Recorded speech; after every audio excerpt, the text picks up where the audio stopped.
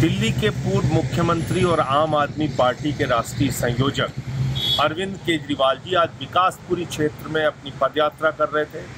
उस दौरान उनके ऊपर भारतीय जनता पार्टी के लोगों ने हमला किया। ये बहुत ही चिंताजनक बात है, गंभीर बात है। पहले ईडी सीबीआई का इस्तेमाल करके अरविंद केजरीवाल को जेल में डाला गया। जेल के अंदर उनको इंसुलिन नहीं दी गई, उनको जान से मारने की कोशिश की गई।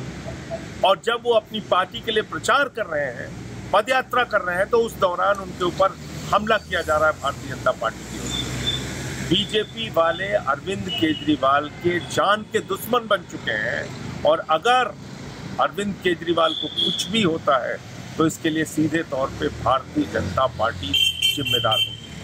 अब किस हद तक दुश्मनी निभाना चाहते हैं? अब किस हद तक अरविंद केजरीवाल के पीछे पड़ गए हैं? मैं देश के प्रधानमंत्री नरेंद्र मोदी जी से पूछना चाहता हूँ, बीजेपी के लोगों से पूछना चाहता हूँ, कितनी नफरत भरी है आपके मन में अरविंद केजरीवाल और आम आदमी पार्टी के प्रति? आप ये काम करेंगे? हम लेकर आएँगे? मैं फिर दोहरा रहा हूँ, अगर कुछ भी अरविंद केजरीवाल के साथ होता है तो उसके लिए सीधे तौर पे बीजेपी जिम्मेदार है। हमसे जुड़े रहने के लिए हमारे YouTube चैनल को सब्सक्राइब करें और नई वीडियो की नोटिफिकेशन के लिए बेल आइकॉन को दबाएँ।